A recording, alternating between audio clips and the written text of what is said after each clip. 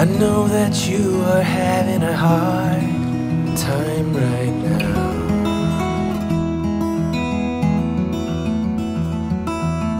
That everything seems to crumble around you.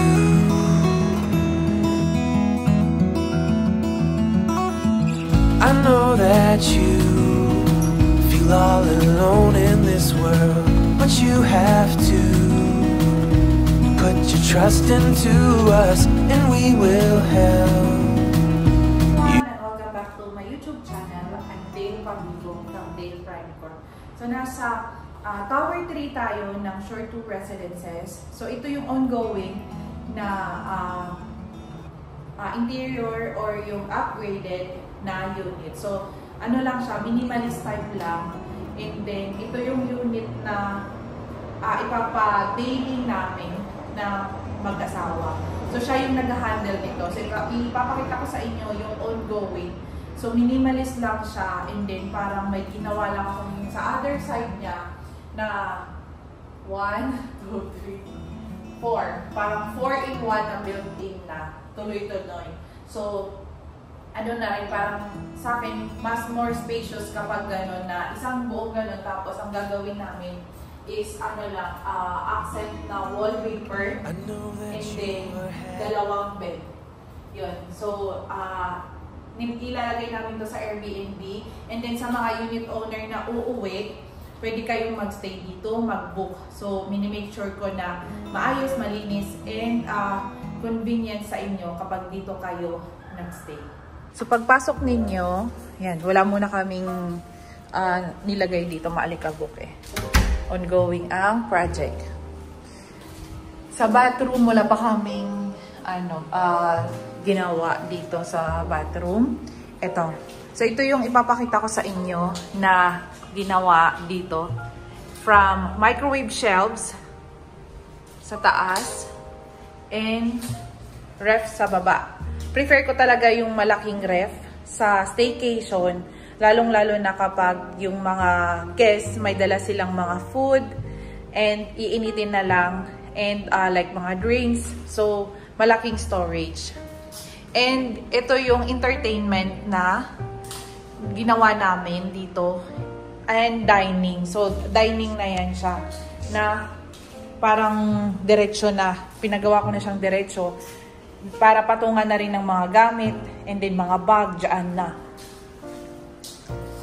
And nagpalagay ako ng cove light sa taas. At yung cabinet dito, yung wardrobe, ginawa ko lang siyang open. Yan. And ah, yung maleta, dyan mo lang ilalagay. So, convenient na. Yan yung pinagawa ko dito. Pinatanggal ko din yung wall. And na-damage kasi yung ah, tiles dito. So, pinaayos namin pati dito. Ayan. So, dalawang bed ang ilalagay dito.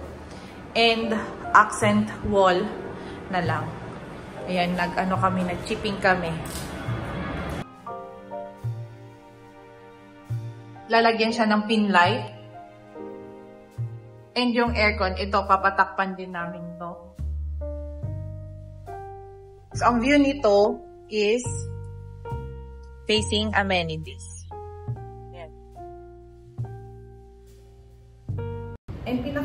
Sa inyo yung ongoing na home styling dito sa unit ko. And then my question, ang ibang unit owner regarding Airbnb, kung ano ba ang maganda. Ah, long term or yung ah, Airbnb. Para, para sa akin, depende po sa inyo. Kapag may time po kayong mag-manage ng Airbnb kasi ang ino-offer lang po namin sa, is partnership sa team din. Like for example, ah, kayo yung bahala sa online booking, kayo yung magko-control ng rate. Kasi ang rate dito is from 2,000 hanggang 3,000, depende po yun sa unit ninyo. And ah, minsan, ah, automatic sa Airbnb, meron silang, pwede mo siyang ah, magbigay ng discount. And then, ah, yung parang ikaw talaga yung magmo-monitor doon sa Airbnb na website. And then, coordination lang sa amin sa cleaning, sa laundry. Yun lang po yung babayaran na services ninyo sa amin. Kapag sa long term naman po, nagiging fix yung monthly ninyo. Ililes yung association dues, yung commission eh, ng agent, and then yung management fee. Yun lang yung pinagkaiba. Yung tanong naman ng iba, ano yung best location dito sa MOA area? Depende naman po. Kasi merong iba, prefer nila sa S residences, sa C residences. Alam mo, kahit yung C residences, matagal na siya. May mga return guests kami doon na mas prefer talaga nila C residences dahil uh, parang, di ba nagno-nostalgic sila doon, mas prefer nila, mas kabisado nila. So, depende. Meron namang Shell, and then uh, Shore 3, sa Shore 1, 2, 3 naman, ang gusto ko doon, dito sa area na to is may Starbucks and then open na yung mga store dito. Yun naman, de depende sa needs ninyo. Yan. And uh, i-update ko pa kayo about Airbnb uh, if ever and then i-discuss ko later on kung magkano yung nagiging profit sa Airbnb business. And then, uh, kung yung unit niyo is for turnover, and gusto ninyong magpahandle sa amin, just email us at inquiry at. And meron pa lang mga for sale na unit sa mga unit owner na gustong mag-add ng investment nila. Ito po yung tinatawag na transfer of rights and then ang ang transaction na to ginagawa sa SMDC customer service. So it's a one day lang one day process po kapag ka kumpleto lahat ng documents. And ang cash out nun is nasa 1.5 to 2 million lang. And then kayo na yung mag bank loan. Ayan. Uh, yun lang. Thank you. Welcome sa amenities ng Shore 2. And ito yung swimming pool ulit dito sa Tower 3. Hindi pa siya functional.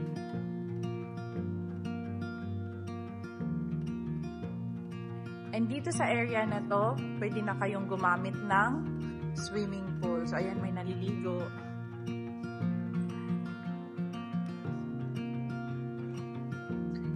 Kapag guest kayo sa Airbnb, pwede kayong mag-swimming. Magbabayad lang ng 150 per person per day.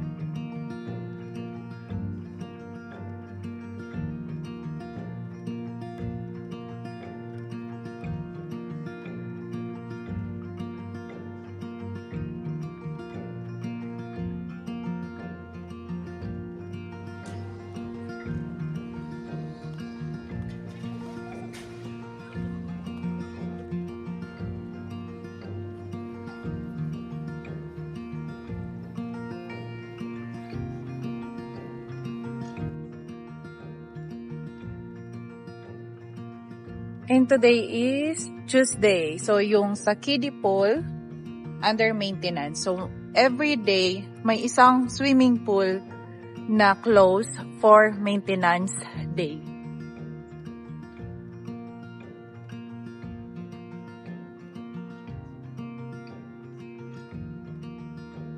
Ito yung playground dito between Tower 1 and Tower 2.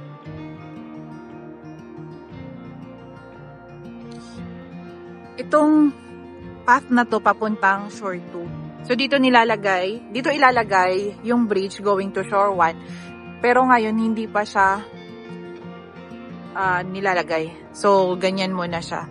May dugtong yan eh. So itong building na nakikita ninyo is shore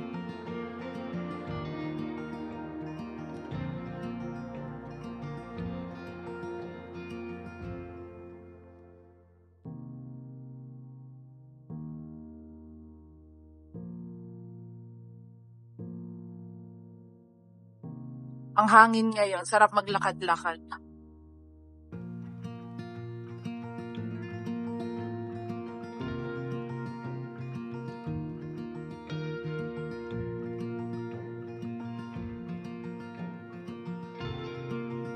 I want to be there.